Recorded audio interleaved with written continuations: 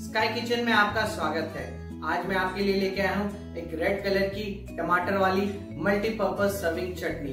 दोस्तों, इस चटनी का हम इस्तेमाल अक्सर इडली, डोसा, उत्तप्पा या फिर अदर डिशेस के साथ सर्व करने में करते हैं। ये बहुत ही स्वादिष्ट होती है दोस्तों। तो चलिए हम बनाते हैं कारा चटनी। हमने लिया है एक टेबल स्पून चना दाल, एक टेबल स्पून उड़द दाल, तीन सूखी लाल मिर्च थोड़ी सी इमली, दो से तीन कली लहसन।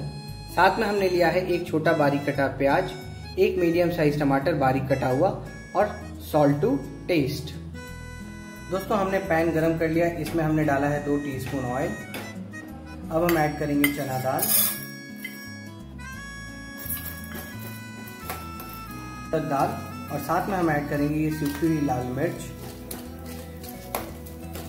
दोस्तों, हमने दाल को आधी मिनट सेक लिया है। अब हम इसमें ऐड करेंगे लहसुन और साथ में हम ऐड करेंगे प्याज। हम ऐड करेंगे इसमें टमाटर।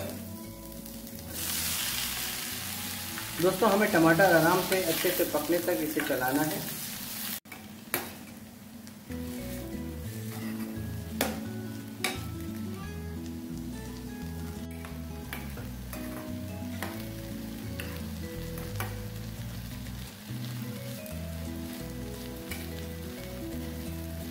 दोस्तों, हमारा चटनी का मसाला तैयार हो गया है। अब हम इसे थोड़ी देर ठंडा होने के लिए रखेंगे। उसके बाद हम इसे ग्राइंड करेंगे।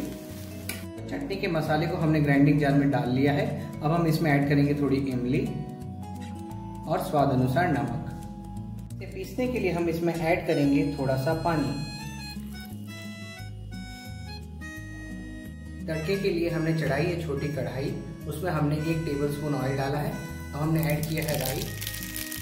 और एक चम्मच उड़द दाल। साथ में हम उसमें डालेंगे मीठा नीम पत्ता।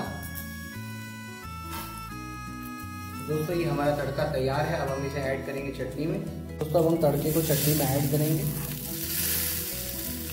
दोस्तों, उड़द दाल ना मिस करें। ये बहुत ही अच्छा इंग्रेडिएंट है। इससे चटनी में बहुत अच्छा टेस्ट आता है। ये देखिए दोस्तों, हमारी कारा चटनी तैयार है सर्व करने के लिए। दोस्तों, अगर आपको हमारी रेसिपी पसंद आई तो हमारे यूट्यूब चैनल को लाइक सब्सक्राइब और शेयर करना ना भूलें और कमेंट में ज़रूर बताएँ कि आपको हमारी रेसिपी कैसी लगी। तो चलिए दोस्तों जल्द मिलते हैं अगली रेसिपी के साथ।